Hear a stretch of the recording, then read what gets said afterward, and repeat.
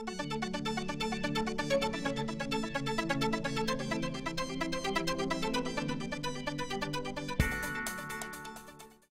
I'm Dr. Aaron Nazarian. Today I'm going to share with you some additional forceps that we have with the Golden Dental Solutions collection.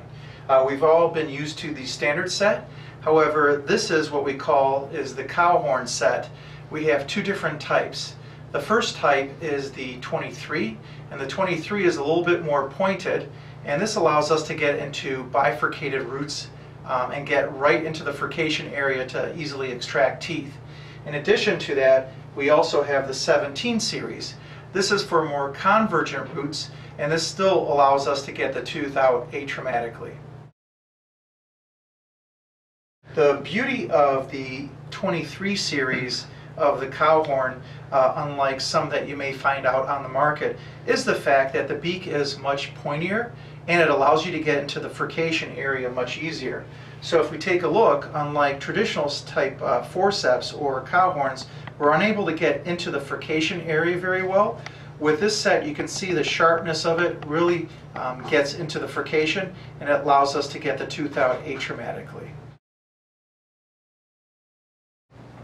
So with the 23 cow horn series from Golden Dental Solutions, we're actually able to take this fine pointed tip and go straight into the furcation area. Now the biggest misconception is that we're supposed to just go buccal lingual and then go out. I've had a chance to see the inventor of these uh, forceps, Dr. Golden, show me an easier technique that allows you to get them out without breaking the root tips. And what that entails is being able to turn it mesially slightly and hold it for 10 seconds, and then turn it distally and hold it for 10 seconds. And then at that point, we've expanded the bone and we'll move in a buccal, lingual, and then out the buccal direction to easily and atraumatically extract the tooth. A patient presented with constant throbbing pain on tooth number 30. If we take a look at the radiograph, we see a periapical lesion on the mesial buccal root. So our findings was not only that the tooth was uh, abscessed, but also that it had a 10 millimeter probing pocket that confirmed the vertical fracture so we knew this patient uh, had some mobility with this tooth and they obviously were complaining of constant throbbing pain. Our treatment plan was to atraumatically extract this tooth, clean out the socket, and place some uh, grafting material with a membrane. In this particular case, we utilized the cowhorn forceps, the number 23 from Golden Dental Solutions. And what you want to do is initially get the beak of this forcep and place it within the furcation area of the tooth. The 23 is used for bifurcated roots. The 17 is used for convergent roots. So again, in this particular case, we use the 23. We're able to get the beak into the furcation area. This is the only forceps uh, set that you do squeeze actually, and you squeeze hard. And while squeezing, you're going to turn the tooth towards the mesial. You'll hold and count for about 10 seconds. At that point, you'll go ahead and turn the tooth towards the distal. After 10 seconds has gone by, you'll go ahead and move the tooth towards the buccal for 5 seconds, to the lingual for another 5 seconds, and then out the buccal and the tooth should come out without any fracture of the roots.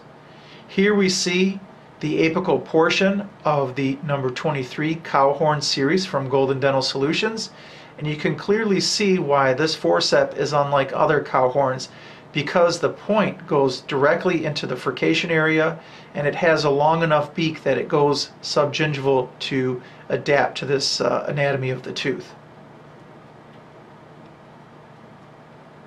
Once the tooth has been extracted, we'll use a curette and remove any granulation tissue. When grafting with socket preservation or any type of grafting, it's uh, important to make sure we remove any type of granulation tissue. We'll curette any of that tissue out, irrigate with surgical saline, and then place the grafting material of choice. In this particular case, we use the GoldOss DBM putty with chips that is available in a syringe.